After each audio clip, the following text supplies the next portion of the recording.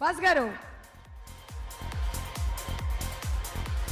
Was గారే was గారు ఏవి చూసి అవాక్ అయినట్టున్నారు.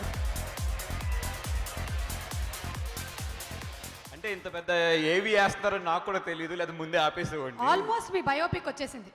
అదే అనుకుంటున్నా. మహానటి తర్వాత ఈ బయోపిక్ వచ్చేసింది. Yes. ఎస్ సార్ దీంట్లో నిజంగా నాకు సంబంధం లేదు నాకు వేస్తున్నారని కూడా తెలియదు అదే అదే అదే కొంచెం.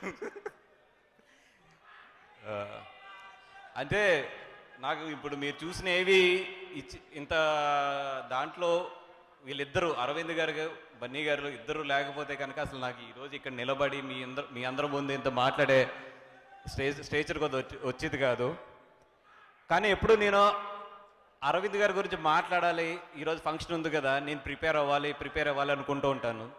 కానీ ఏ రోజు నాకు టైం దొరకట్లేదు ఆయన గురించి నేను మాట్లాడతాను ప్రిపేర్ అవ్వడానికి ఈ రోజు కూడా వస్తూ వస్తూ చాలా ఆలోచిస్తున్నా ఏం మాట్లాడాలి ఏం మాట్లాడాలి నాకు అర్థమైంది ఏంటంటే ఆయన గురించి నేను మాట్లాడే నాకు టైం దొరికింది అంటే దట్ మీన్స్ నేను ఖాళీ అయిపోయానని చెప్పి. సార్ అందుకే మీ గురించి నేను మాట్లాడే టైం నాకు రాకూడదని కోరుకుంటున్నా.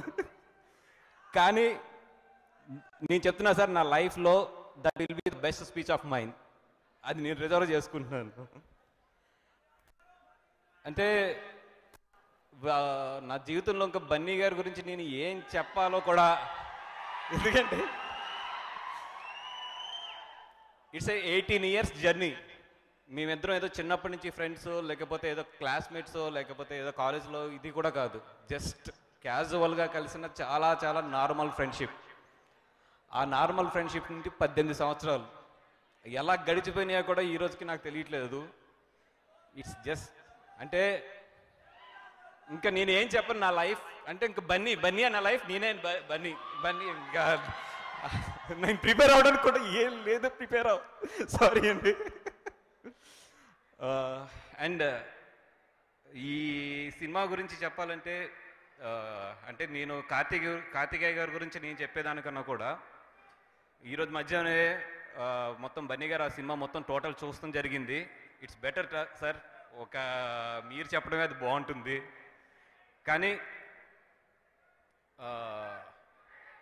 తను చాలా హైట్స్కి వెళ్తాడు. అక్కడ వరకు అయితే మాత్రం నేను గ్యారంటీ చెప్పగలను. And Kaushik Kaushik just twenty six years.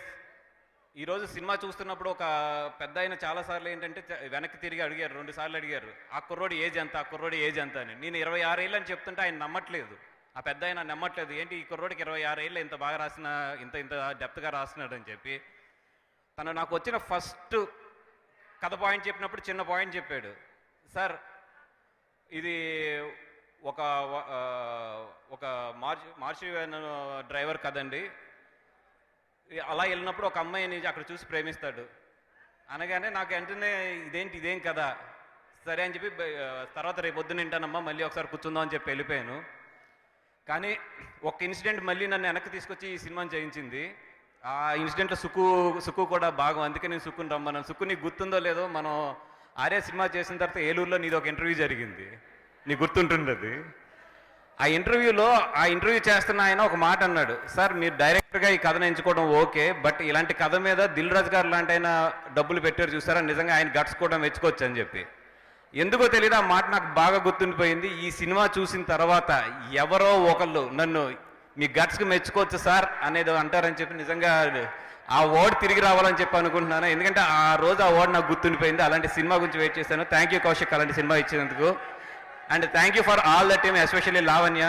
And uh, మీ అంటే వీడియో క్యారెక్టర్ చే అనగానే ఎలా రియాక్ట్ అవుతారు ఏంటనుకున్నాను. బట్ వచ్చి చేశారు. ఎవ్రీ ఐ నో మీరు కంగారంతా బన్నీ గారి గురించి సో uh, చాలా మాట్లాడాలి కానీ ఏది ప్రిపేర్ అవ్వలేదు కాబట్టి ఐఎమ్ లీవింగ్ అండ్ యూనిట్ మొత్తం కూడా uh, నీ పేరు పేరున్న చెప్పగా చెప్పలేకపోయినా కూడా ఎస్ ఈ యూనిట్ అంతా కూడా ఆల్వేస్ నా హార్ట్లో ఉంటారు. ఎందుకంటే నా హార్ట్కి చాలా దగ్గరైన సినిమాల్లో ఈ సినిమా ఒకటి.